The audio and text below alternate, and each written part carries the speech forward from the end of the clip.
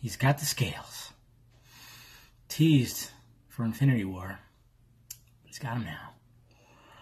Makes sense, given this will be his last time, sadly. Love how this image of him has his like eyes closed. He's either meditating or getting blown by Bucky. I'm sorry.